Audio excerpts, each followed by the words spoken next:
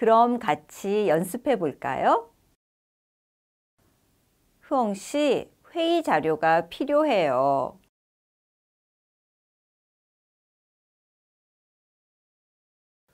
그래요? 도와줄까요?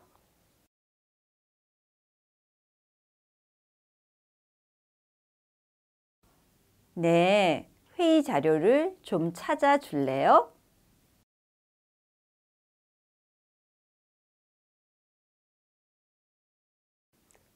네, 알았어요.